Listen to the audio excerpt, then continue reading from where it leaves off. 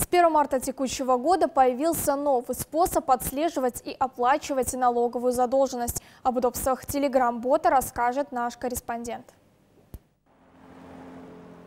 Для оперативной помощи населению в получении информации о налоговых и таможенных вопросах разработали чат-бота. Селек-бот предназначен не только для физических лиц, но и для субъектов бизнеса. Также в этом боте можно посчитать налог на транспорт, пеню за прошлые периоды и многое другое. Удобства на этом не заканчиваются. Можно узнать различные различные направления. Также в чате-боте здесь размещены видеоуроки, как сдать декларацию, например, 250 форму, 270 форму, что очень удобно.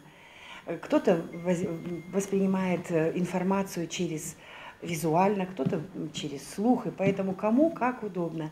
Чат-бот, он доступен круглосуточно. Чат-бот обладает базой знаний, разработанной на основе обращений, поступающих в контактный центр КГД, что позволяет пользователю мгновенно получить ответы на часто задаваемые вопросы по налоговому и таможенному законодательству, без участия операторов. Помимо этого, чат-бот до сих пор разрабатывается, чтобы оперативно помогать налогоплательщикам.